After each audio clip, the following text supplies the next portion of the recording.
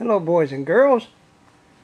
Uh, give you a short video of the Barrymobile as it is now. There you go. Now you can see. You can see everything but my little dog's nostrils. Shirley Jean. She's a dandy. Anyway, getting more dust on it now than whenever it was being sanded on every day. Right. I got the door latches in it. There's not much more than a pipe cleaner and a uh, can opener. Uh, got my shift knob all nice and glittery. It goes there. And beginning to do some stuff under here. Uh, been, uh, man, closes like a, who knows. Me and my wife put the hood on it. So naturally we skint the paint here, skint a big knob right there, and jibs and jabs and knots all over it. But I've got a cure for that. Today, instead of getting it running, I put on some more shiny. So I put my shiny grill and bumper and stuff on. Polish, been buffing and polishing the stainless most of the day. Which if you've ever done it, it's not a good thing. Excuse me. And uh, got to get me some eyeballs in it. And uh, comparing the grills. Shirley Jean, I know you want chicken. Calm down. Southern dogs love chicken. I don't know what the deal is. But here's the grill of the 49s and 50s.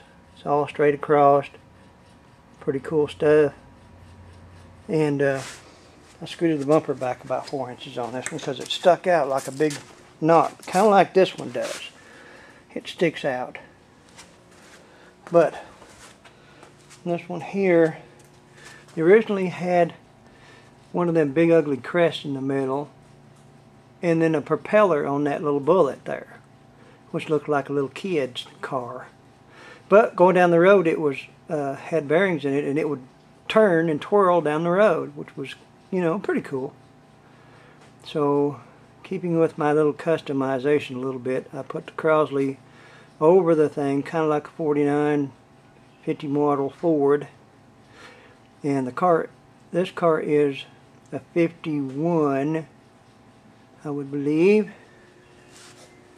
and uh, that's 51 grill.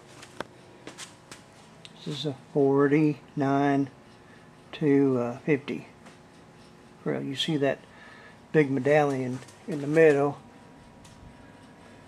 which is kind of pretty. But since it don't light up, I didn't like it too well. You know me, I got different ways. But anyway, I just show you the difference. The headlights on the little uh, little worm wagon. I put weird ones in it naturally. Well, naturally for me. Hey, sit there. Now go turn the lights on.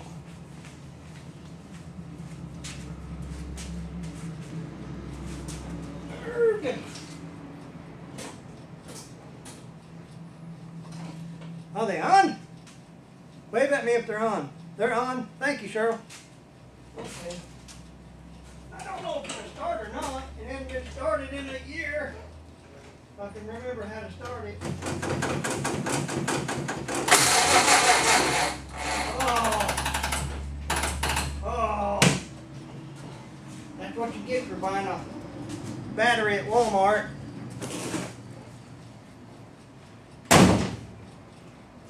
But oh well. A Widow Wasco, I forgot to pull a hood latch. Cheap as a car like this, it has a hood latch in here.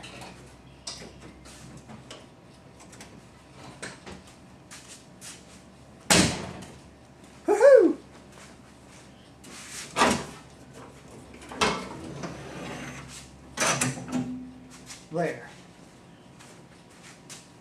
Yeah, Walmart's gonna hear from me, by golly. I'll show you what's left of the engine on this one. You've seen a few slitios of it. It's still in there on all its goober glory.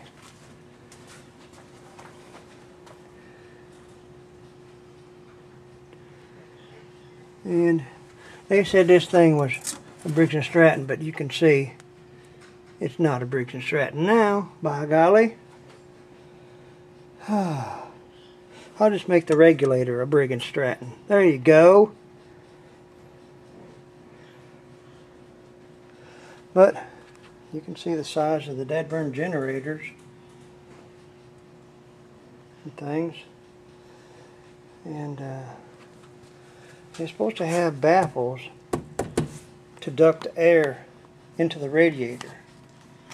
So originally they're made out of cardboard or something less than cardboard and they rot off but I put these in from some plexiglass made into mirrors and when it's all cleaned up believe it or not it kindly reflects what little shiny it's got into the engine.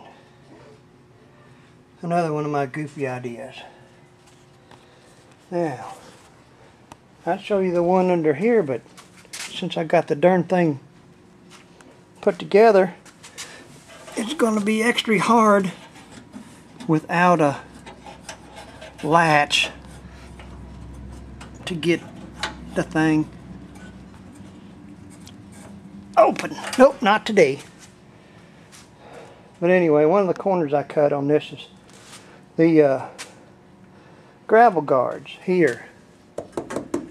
They're really hard to get and they don't make them anymore. So I just fired up some plexiglass and trimmed it like the old one. It was crumpled up. And I painted the back side of it with the car paint. And that made it look really really deep and shiny. And uh, you know I made that for about three bucks. Along with making the rockers out of an old stovepipe or a brand new stovepipe. Will you rascal? What's the matter with you there you go anyway these things wake up in a new world every day well, that's actually a piece of stovepipe down below that door being something that they can't get anymore. And my plastic gravel guard in the back. Which painted the same way on the back side. Looks like it's got 30 coats clear on it, but there it is. Now, I've got these tail lights trimmed out, and I don't know which way is best. I've got the black trim around this yarn, then I put a little chrome trim around this yarn. Now, if somebody would tell me which way to go, I would be so greatly happy to figure out which way to go. Because I, I can't make up my mind. I like both. Here it is through the back glass of all the interior. Ooh, look. Great. It has acres. Well, it has inches of room back here. And uh, that's about it. Uh, this one's not going to get a chain steering wheel. Them is pretty hard on your fingers, come to find out. But I have other plans for the interior. And uh, I'll show y'all when I get along. Get along, little doggy. Okay. That's it for me and my little puppy too. Say goodnight, Shirley Jean. Goodnight, Shirley Jean. Okay. Thank y'all. Love you. Be careful. I can never get this turned off whenever I want